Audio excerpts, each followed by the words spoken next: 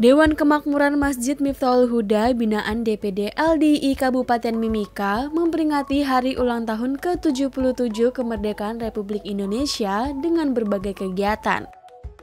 Mereka menghelat pengibaran sang merah putih hingga berbagai perlombaan yang diikuti oleh para remaja dan anak-anak.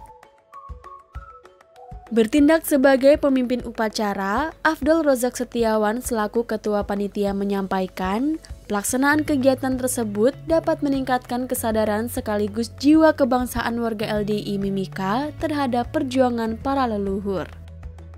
DKM Masjid Ainul Yakin di sini semuanya bisa berturut serta menyukseskan uh, perjuangan daripada para pejuang-pejuang semuanya sehingga inilah berkat perjuangan mereka kita bisa merdeka, kita bisa hidup tenang di Indonesia.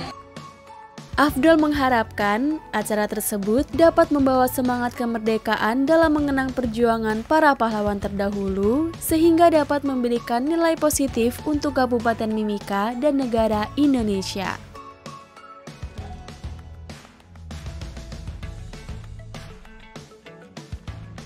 Klik like jika menyukai video ini dan subscribe untuk mendapatkan berita terbaru dari LDII TV. Alhamdulillahi jazakumullahu khairah telah menonton.